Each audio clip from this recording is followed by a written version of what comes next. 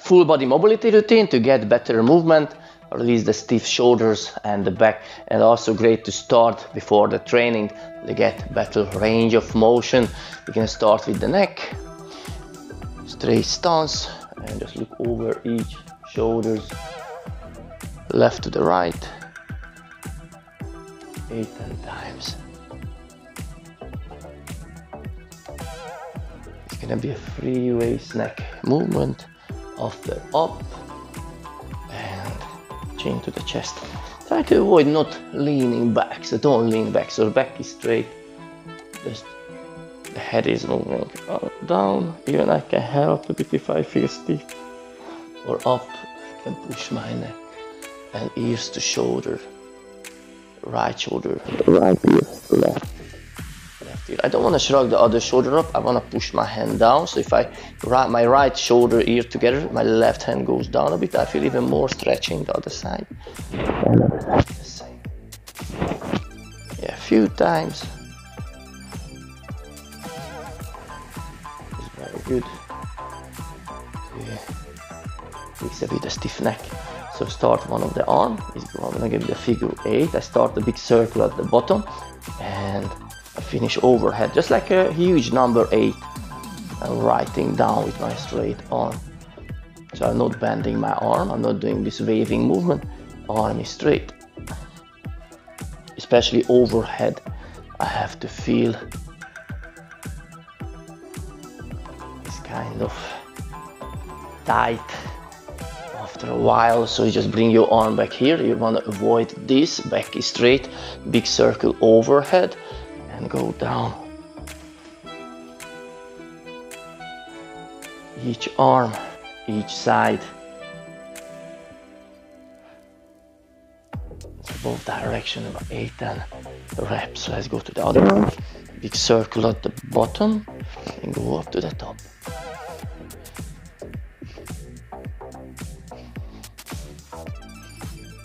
Shoulder is very typical, so we're gonna have a couple of nice movement to the shoulder to make it more loose. And it's good to start before the training routine as well if you follow the 12 weeks program. But also it's a great way to start the morning with it.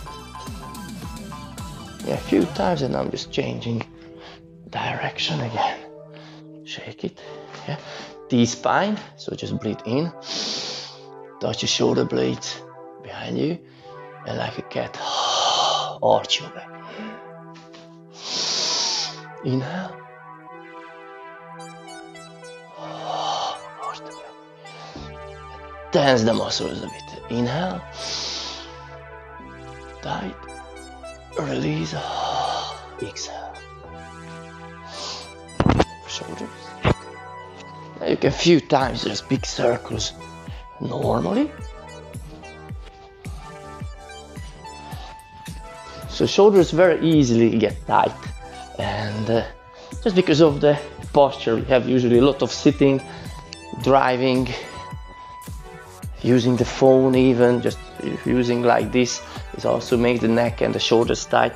So we're gonna work on it a bit more. The next one, arms together. I bring my arm over and big circle, palms together. I put my elbows together as well. Up behind you. So I try to keep my elbows and palms together, even if I open my hands, but my elbows still together. I feel a very good structure there as well. I'm gonna do each direction.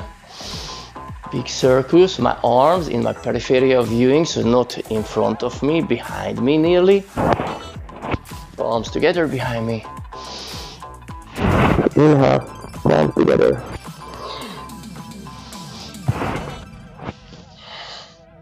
one more movement for shoulders. It's gonna be the waiter's drill. Palms upward. Turn it out, just like you have a plate in your hand. And back overhead.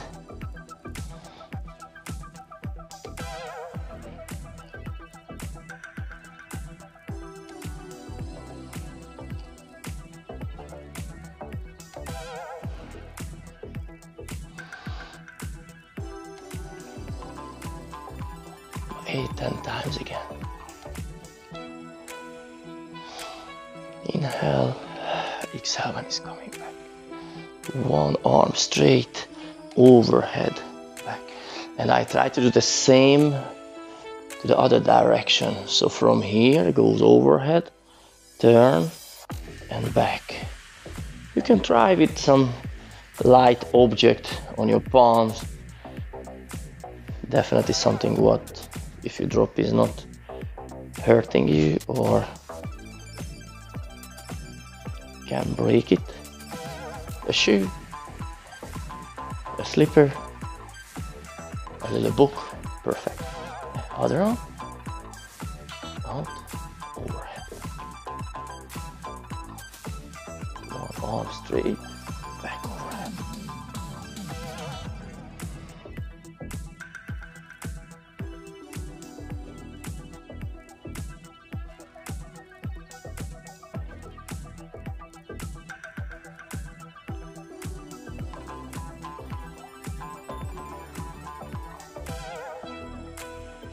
Eight, ten times. Are these? I just change direction. Now it's upward and goes around.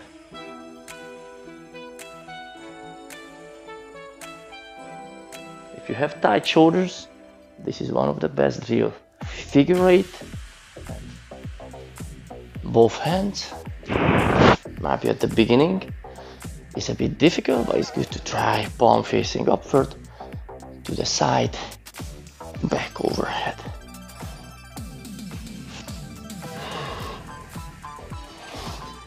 And other direction.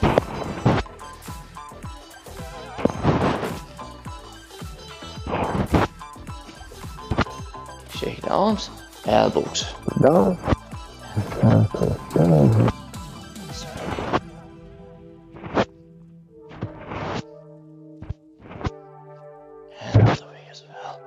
Typical problem, people just doing this kind of short range of motion. Now you want to use all of your range of motion. So even one arm, turn my hand, and I want to get the bigger motion of range can I can get. And the wrist.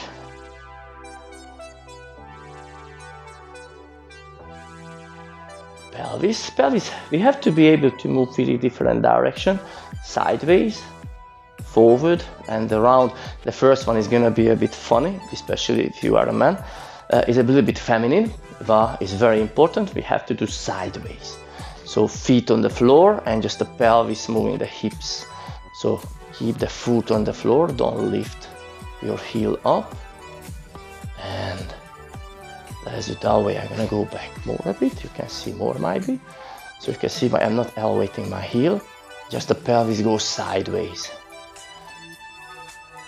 I wanna push down towards my feet, other one I wanna pull up without losing the center length. So I'm not leaning sideways and not like this.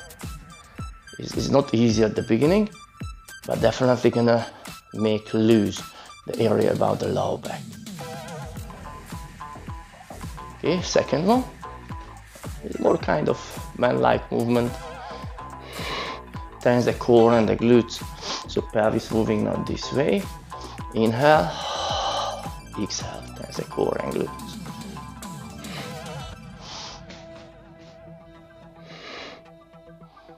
And now after the circle without losing the uh, center line. So I don't want to move sideways. So it's not hips turn like that. It's gonna be after. Now it's just the pelvis. So with sideways, forward, backward, and circle. It's very important if we want to be healthy and strong. We have to be able to move our body as a unit, everything in one. And also we have to be able to move some part of our body separately, just like this. And the hips mobility is very important. Again, so one of the hand on the floor, uh, floor on the wall, and circles around each leg.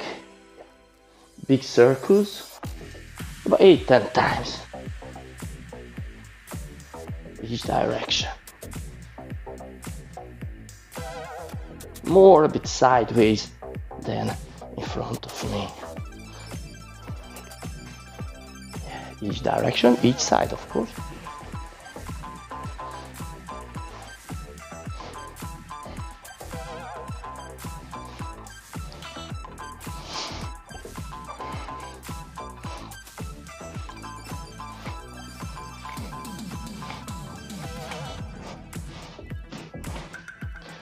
And now just put your palms to the kidneys, not this way, palms on the kidneys. The reason is why, because uh, if you have sensitive low back, it supports more the back.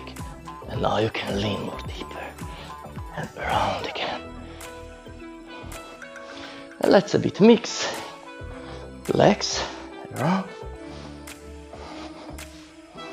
hips, a little bit mixing a bit sideways, forward, circle, and grab the kneecaps. Going downward, knees around. Close your feet, left to right, right to left. Open the knees and circle in each direction. And shake it. Let's go to the ankles. Let's do the ankles into the corner, ball of your foot on the wall. And the first is a little bit the hamstrings as well. If I push my hips closer to the wall, I feel the upper calf and the hamstrings. But if I bend my knee, I try to do some circles. I'm gonna feel the ankle really well. And the higher your ball of your foot on the wall, bigger circle you do, better ankle mobility you have. So if my ball of my foot lower here, probably I have very tight ankles, especially if I can't bend my knee. But if I keep it up high like this, and I bend my knee, I have circles. And you can approach really, really well, nearly touch the wall. That's a good ankle mobility. Each side. And the first, I just push my hips forward, straight knee width. It's not looks like might be straight, but it is. And I just do a small circles at the beginning, very small, and time by time I try to do bigger, bigger circles. Okay, and after just step back to my foot, stretch a bit, and sideways at my toes as well. One, two, and the last one to the ankles, I flat my foot on the floor, the left one, so I'm doing it on the back leg now. On this one, yeah, I'm going lower. If my knee approaching nearly the mat, I'm going lower there without lifting the heel. I feel the Achilles and the ankles again. And again out the back. Yeah. Other good thing, you just walk like this a bit.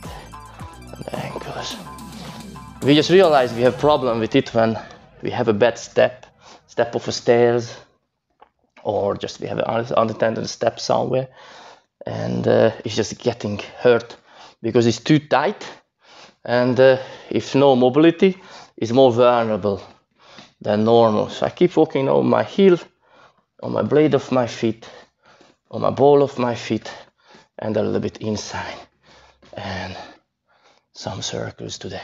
So it was the full body mobility routine. I recommend to you to start definitely every morning with it, or at least just some part of it. With if you feel you have stiff shoulders, choose the shoulder drills, or you have hips or ankle or neck problems, choose those drills which one you feel you need to get better movements and less pain.